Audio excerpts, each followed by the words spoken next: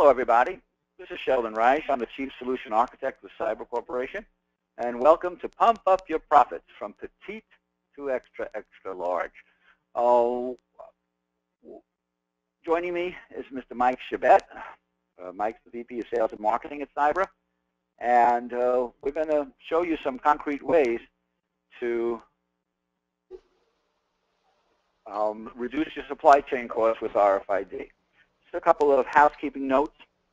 That is that uh, you're muted, but that doesn't mean you can't participate. We really encourage questions.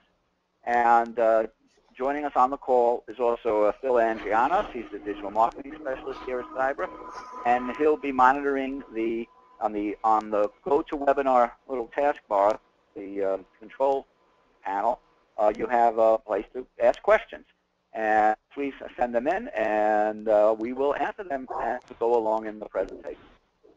I really thank you for taking your time. Uh, uh, you know, time is really the most precious commodity, and we do appreciate that uh, you, have chosen to spend some time with us.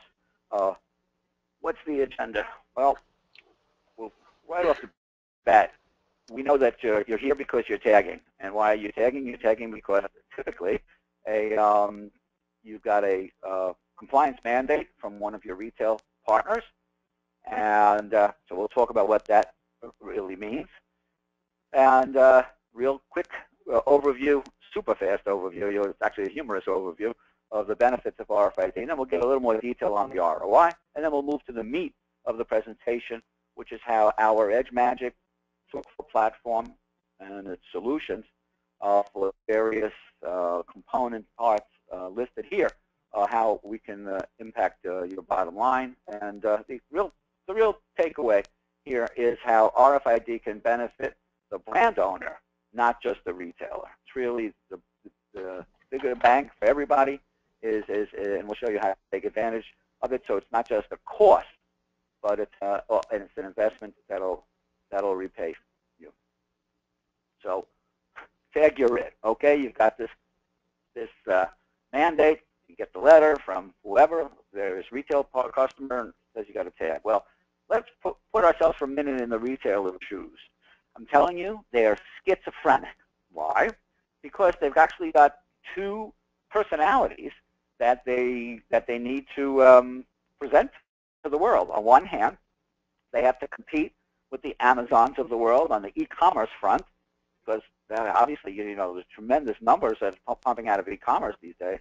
Plus, they're competing with, oh, you know, Walmart. It depends on the on the category that they're in, and they're also competing with um, other retailers who are omni-channel experts who are, you know, have have merged their um, e-commerce uh, storefront with the uh, with their physical stores, with their brick and mortar stores as distribution points. So that's one side of the challenge.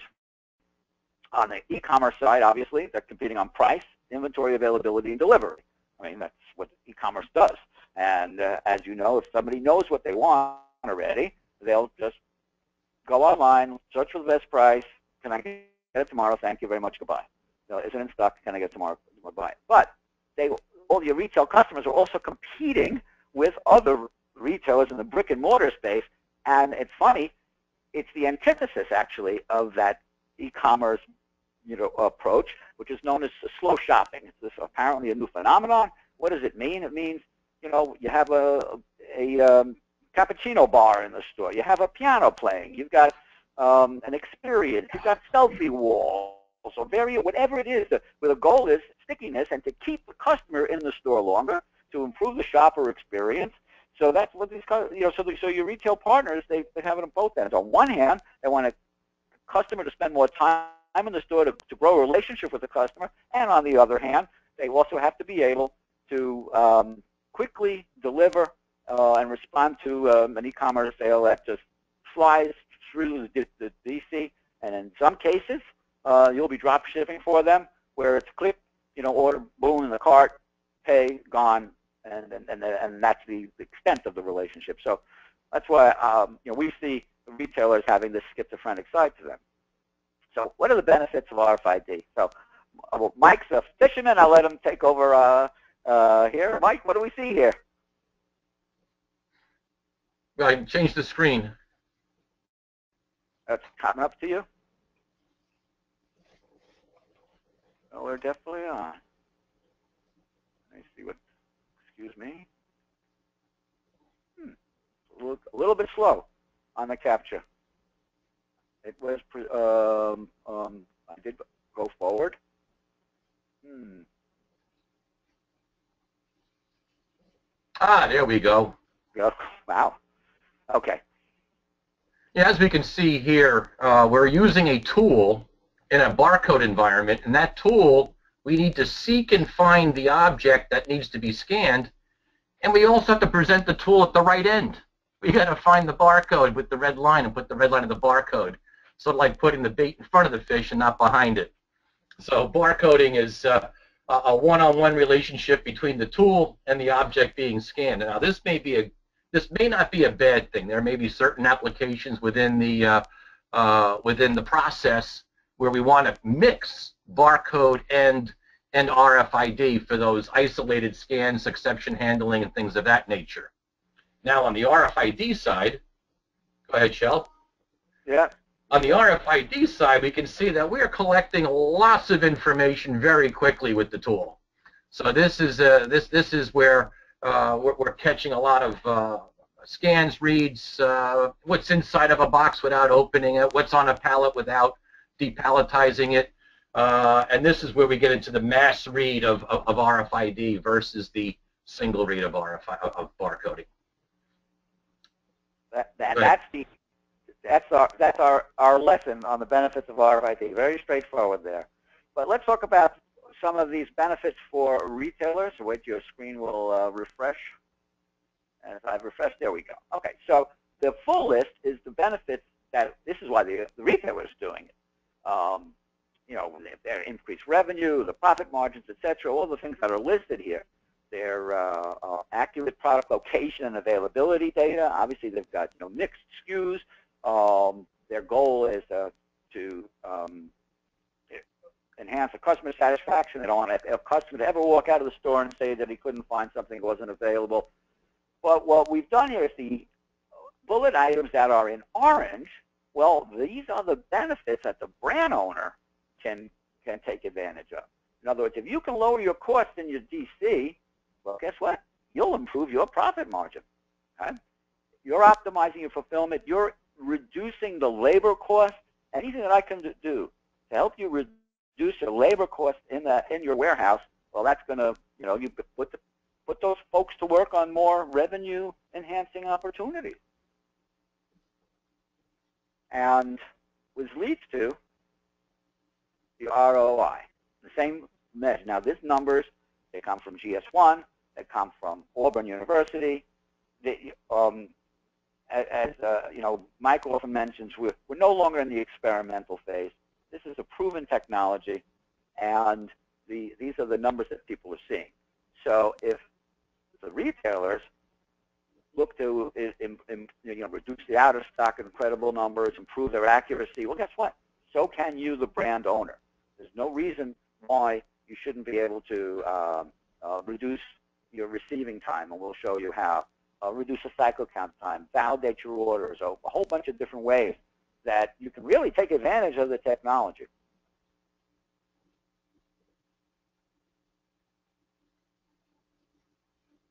So how does EdgeMagic work for a brand owner? Well, this is the full flow chart, how it would work for a retailer, but well, the brand owner's got many of the same steps as a as a retailer. So the first place is, is tagging those goods. Where does that start?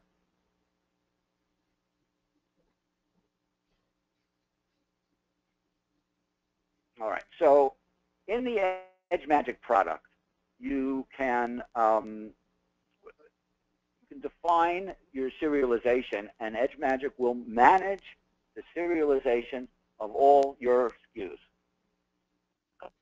We support it. Uh, we can allow you to uh, to set start and stop ranges as well as define blocks. So, for example, you might need a block of serial numbers for use of tagging in your DC or existing garment. You may decide, you know what, I've got a factory in Bangladesh. Let me assign a block there. Let me assign a block to Latin America, assign a block to Germany, whatever.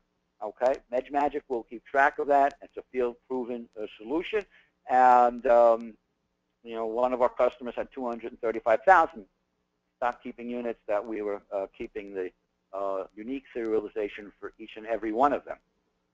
And we support the TID, Tag ID, which is the chip-based serialization, and uh, that allows uh, you to work with uh, with service bureaus or with um, um, oh, you know uh, overseas where you choose not to have. So either way, you have both option. You can have the software-based serialization management as well as the chip-based serialization management.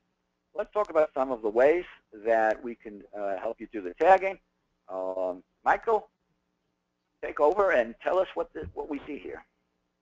All right, we have a number of ways to provide tagging within the distribution center environment. And uh, just to touch base a little bit on the serialization piece, the EdgeMagic product has been designed to work harmoniously with all of the service bureaus that are that are available.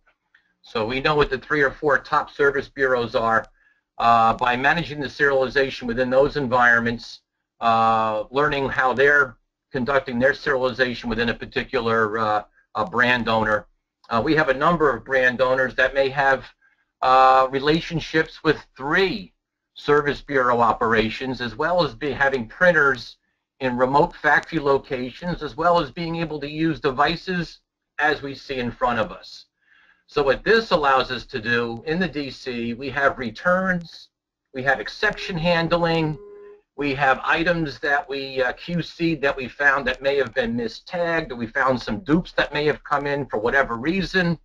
Uh, this device allows us to replace that RFID tag and actually scan the UPC code on the garment and re-energize a new RFID tag with a uh, with an EPC for that garment very very efficiently and very quickly. And again, working in a global environment and supporting multiple sources and resources for tags and labels. Go ahead, Shelley. Yep. And tell us what, what monstrosity we have here. Yeah, there are certain applications where um, we may want to generate RFID labels within a factory environment. We may have a prime factory or maybe we may have some small seasonal vendors.